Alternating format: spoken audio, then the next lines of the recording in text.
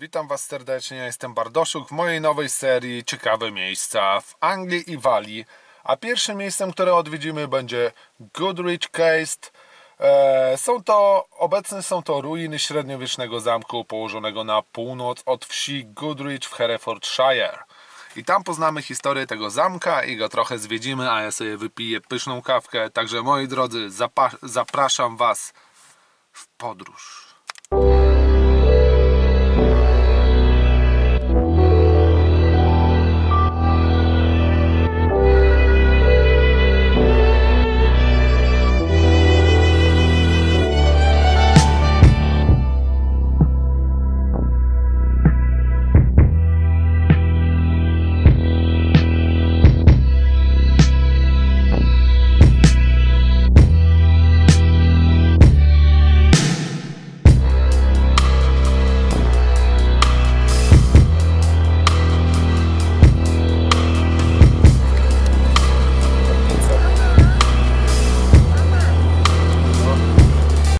Moi drodzy, e, jesteśmy w, miejsc, w wiosce Godrich. To jest ta wioska przed samym zamkiem. Zatrzymaliśmy się tu po prostu, żeby wziąć pieniądze z jakiegoś bankomatu. Co prawda bankomatów nie ma, ale jest sklep.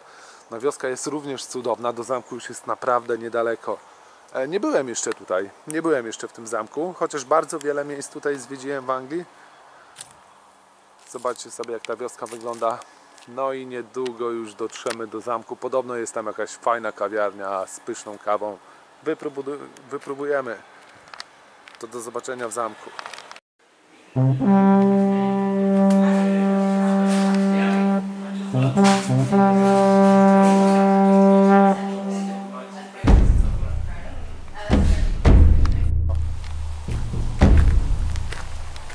Drodzy, już jesteśmy na miejscu. Teraz podążamy w stronę zamku, bo pewną część drogi trzeba przejść piechotą. Widoki są naprawdę fajne. Pogoda też dopisała, chociaż jest trochę chłodno. Ale jak mam sobie wyobrazić, że ponad 1000 lat temu maszerowali tędy rycerze. O, już coś widać.